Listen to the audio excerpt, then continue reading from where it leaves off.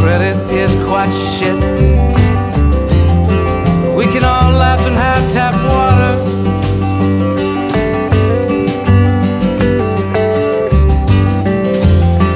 My friend laughs cause he thinks he's happy.